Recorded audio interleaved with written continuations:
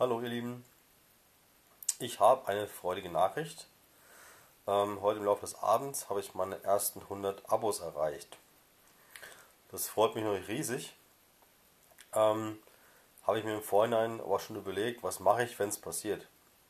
Ähm, ich hatte ja bei Facebook schon geschrieben, dass ich einen Messerbausatz äh, als Giveaway ähm, zur Verfügung stelle hier seht ihr die Sachen liegen. Ähm, es ist natürlich schon relativ dunkel.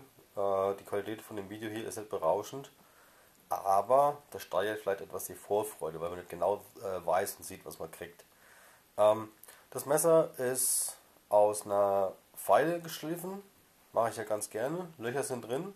Ich gehe sie nachher noch härten, weil noch ist sie weich. Ähm, ein paar Pins gebe ich dazu. Und das Holz ist Quitte. Was Einheimisches. Finde ich ganz spannend für solche Sachen eigentlich. Äh, Carbonstahl und einheimische Hölzer finde ich eine super Kombination. Ja, wie kriegt man das Ding? Ich habe mir folgendes überlegt. Ähm, es wäre ganz schön, wenn man mal einem anderen eine Freude machen kann. Und zwar hätte ich gerne von euch, ähm, dass ihr mir ähm, erzählt, wer in, äh, in eurer, Ansicht, eurer Ansicht nach diesen Bausatz bekommen soll.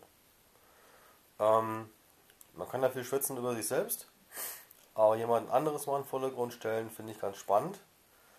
Nur wisst ihr noch nicht genau, wer bei mir alles ein Abo hat und wer nicht. Das müsst ihr euch einfach was einfallen lassen, wie ihr das geregelt kriegt. Ich meine, das ist ja relativ einfach. Denjenigen, den man äh, vielleicht bedenkt, mit dieser Sache hier noch zu fragen.